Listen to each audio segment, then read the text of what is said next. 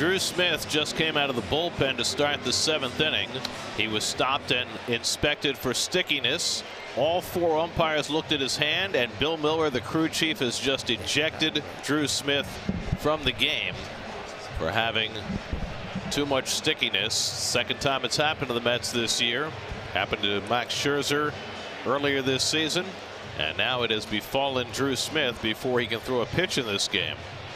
Well, uh, Buck's got to get Drew off the field. Uh, he's been thrown out already. He's got a 10 day suspension. Like, who decides what stickiness is? All four umpires seem to agree, and now the Mets will have to get a pitcher who will have to warm up and be ready for the game.